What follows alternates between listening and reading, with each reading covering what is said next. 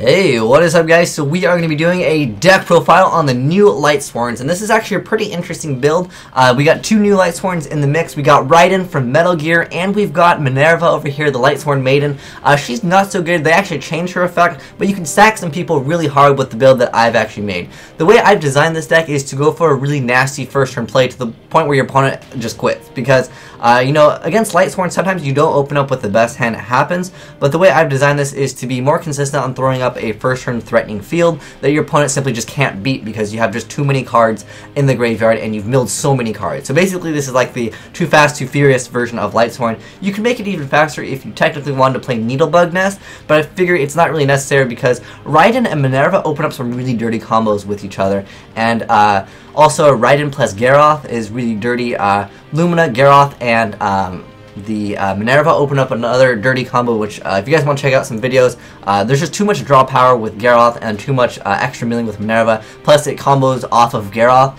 and if you mill two more and you mill another Minerva, you get to mill two more, and then you get to draw two more. It becomes really broken. So what I've done with this deck, it's probably not the most conventional build like I mentioned before. It's something completely different that I haven't seen anyone try out before. I've seen a lot of players uh, cut this card, and I understand why, because it, it's not so great for adding the JD anymore. It's basically used as a utility card now uh, when you mill it uh, in combination with Garoth. And that's what I've really tried to do with it by main decking triple Lumina, triple Garoth, triple Minerva, and triple uh, Raiden from Metal Gear over here. So anyways, let's go ahead and get started with the deck profile. I'll explain the choices as we go along. So first off, we have a triple Judgment Dragon. He's, you know, self-explanatory. You don't really need any explanation for him. And then triple Celestia.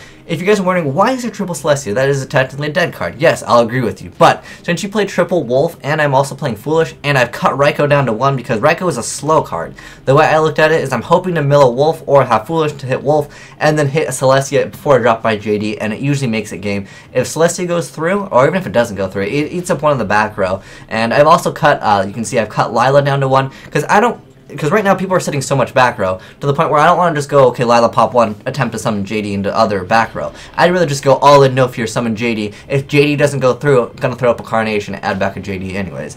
So uh, I like to go for a Celestia play before I go for JD, and I like this card a lot because, like I said, guys, I'm only playing one Ryko, and against Evilswarms, uh, you know, you could still go for a Foolish and then uh, go for a Celestia play, or if you happen to get lucky and you mill one with, you know, any of the cards you can mill with, uh, you can still drop a Celestia and sack your opponent pretty hard, depending on what you mill. Because if you mill wolves with this, man, you're good to go too.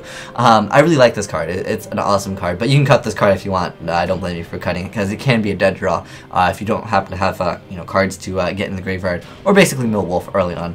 Next up, we have triple Garoth because, like I said, this is a non-conventional build. It uses the um, it abuses Raiden and Minerva really hard. Uh, the reason why it's triple Garoth is because Lumina into Garoth, which is a really standard play for Lightsworn, it does combo off of uh, the Maiden over here. So if I go Lumina, um, discard uh, Minerva, get back Garoth, um, Garoth then gets special summoned, Minerva effects activates, so I mill um, uh, one for Minerva, then Garoth's effects trigger, so I mill two more, and then I can potentially draw more cards. So it's really OP in that aspect. Next up, just one Jain. Uh, I don't really feel Jain necessary. If it ran over Ophion, I'd play multiple Jains, but uh, Jain is really like mediocre for me. I mean, it gets over like Thunder King, but like like I said, it's pretty much like all I care about is getting out at first for nasty field. It is a warrior, so you can technically make uh, other cards like Blade Armor uh, if you really wanted to throw them extra deck. I didn't really feel as necessary. Uh, next up, triple Raiden. This card makes the deck so much better because if you get to go for a first turn Raiden play, or even if you stack a Wolf or Plague Spreader, um, you can go ahead and make some really nasty plays. If you mill Wolf, you can go for a um, pretty much you have access to like a lot of the stuff in the extra deck, which is actually really awesome in this deck because uh, he's a tuner. If you mill Wolf off this, like if you go someone right and mill Wolf, you have instant access to any uh, level 8 Synchro monster, and the most relevant ones in the game right now are probably just Crimson Blader. Um, and I didn't really have any room in the extra deck, otherwise I would probably play Catastor also, but uh, yeah, this card is just, it's an awesome card um, because, you know, being able to mill really fast early on, and then on top of that, if you mill this, and then this mills Wolf, you still have access, it's just, like I said, I like to abuse use uh, the, the new cards really, really, really hard, and that's the point of this build. Uh, next up, like I said, one Lyla because I don't like running to back row. Uh, that's just there's too many back row, and I don't want to go Lyla pop one.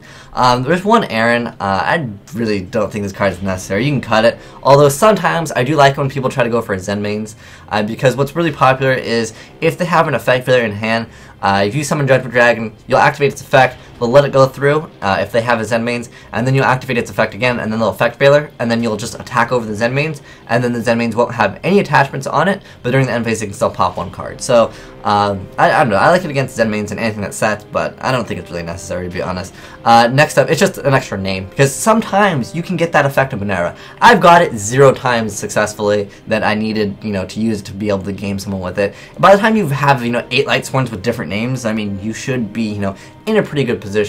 And if you haven't milled a JD by then, uh, man, you, are pretty lucky. But yeah, if it does work off, it's pretty nice. But it no longer gets the effect when it's special summoned. And it does happen to have uh, it needs light sworns with different names. Before, it was just if you just it just requires light sworn monsters, and then it will its effect activating was normal or special, so you can Lumina into it, and it was really OP. And at that point, I was playing HTS, which you can play in here. I uh, just want to show you guys this card. Oh, I actually don't know. It's it's HTS. Is it yeah, there we go. Uh, Simuth. So yeah, you can play this card if you wanted to. Uh, it's just a generic uh, level 6 Synchro Monster. We don't know the effect of the Lightsworn Synchro Monster, so maybe that'll make this card much better.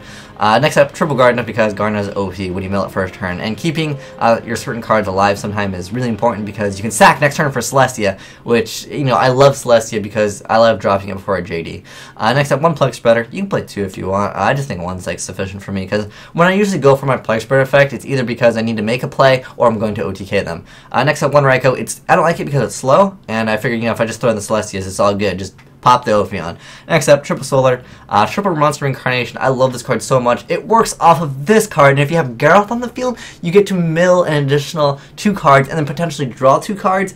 Uh, like I said, I'm abusing these new two cards. Uh, next up, Gold Sark. Uh, if I have a really awful hand, I go for this. If I have a you know hand where I can go for JD, I just Gold Sark JD. This is for Wolf, or you know, if, if, is this is um, uh, sent from your hand or deck to the graveyard gets its effect. So, you know, if you really need to, you have Garoth on the board.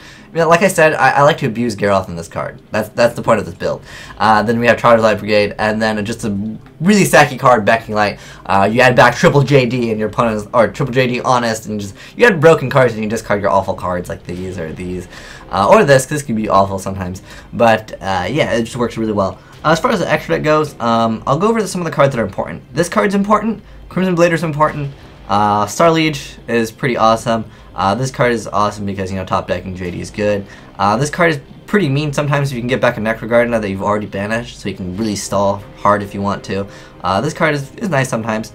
Uh, this card is really good. It lets you also pop Wolf if you want to, um, which is awesome. But uh, as far as the extra deck goes, I use this probably the most, honestly. Uh, I've been using Mist Wurm the most because it's Mist Wurm for a game, and it, works wonders, uh, especially when you can uh, mill those uh, free wolves, and, you know, this card is a tuner, so, you know, it allows you for a lot of combos to make uh, Mist Wurm. A lot of times you need Plague Spreader, most of the time, but if you happen to have Lumina, and you can, you know, have the right cards on the field, you can technically make it without Plague Spreader. But this has been the deck profile for the newer Light Sworns. I will be uh, doing another video uh, for regular Light Sworns because obviously this is not out yet. Uh, I would love to go into this in ranked and just sack people as hard as possible. One card I do want to mention, guys, because Lightsworn will get popular, um, honestly, any deck that has Waboku has a good matchup, because uh, at one point people were citing threatening roars, Wabokus against Lightsworn, they would just play this uh, idea of decking uh, out. You can add this card in, um,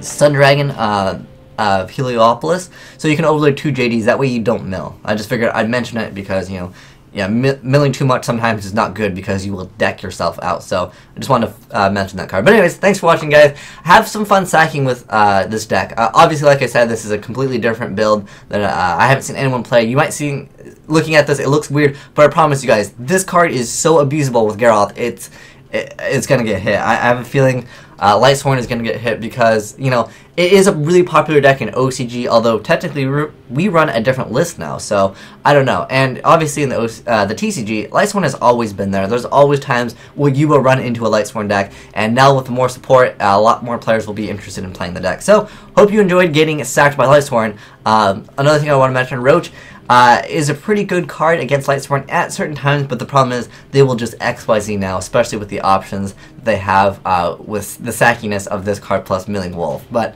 enjoy. Uh, if you guys want a good side deck card against Lightsworn, honestly, I think Starlight Road is one of the best cards because, you know, Judgment Dragon gonna blow up the field and then you get a free Stardust. It's pretty nasty for them. But thanks for watching, guys. Asian Eyes signing out.